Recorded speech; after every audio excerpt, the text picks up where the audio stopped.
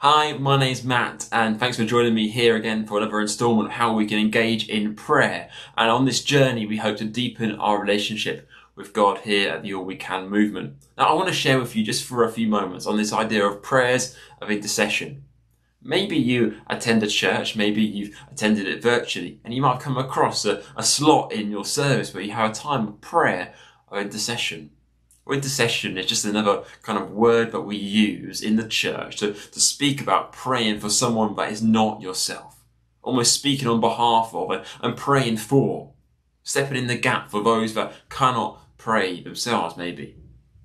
And for me, when it comes to prayers of intercession, the thing that I find the most useful and helpful that I want to share with you, maybe you do it already, but is to segment those prayers of intercession to three key aspects. And by doing that, it really helps me focus my prayers and intercession.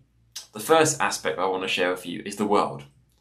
Looking at God's world, looking at God's creation, and looking about how I can see beyond those, those walls, those borders that uh, I live in, and see what's going on in the world. There's so much going on in our world that we just simply don't always know about.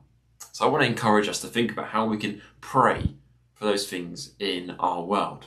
Maybe you want to reflect with me as well today. Maybe you want to use uh, the BBC News and other news outlets to see what's going on in our world today. So the first aspect is the world.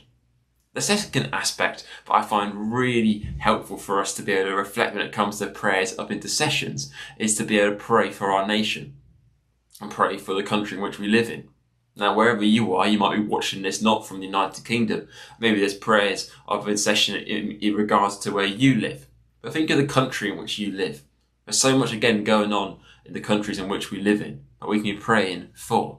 Again, using the news outlets, using local news and, and wider than that to see what's going on in our nation. That helps us to be able to pray in an informed way. And lastly, it's for our community. Now, our community might just be the street in which we live in, or it might also be the town, the city that we live in, wherever it is, but the community in which we are based. And again, using news outlets or other means, we can help pray for the community in which we live in. And but if we do that by segmenting prayers of intercession in that simple and easy way, I find it helps us focus our minds when it comes to prayers of intercession.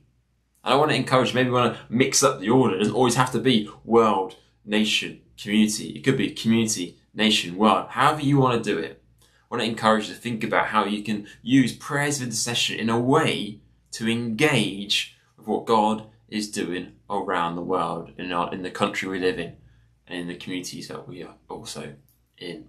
And as you do that, I encourage you to kind of weave the All We Can story in between those three different elements. How All We Can is working around the world, but also engages in the countries in which you're living in as well. But also engage in the local communities too, with the local churches and community groups as well.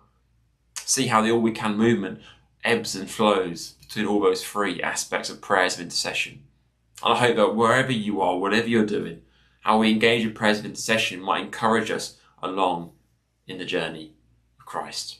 Be blessed. I'll see you very soon. Thanks for watching this video. Take care and bye for now.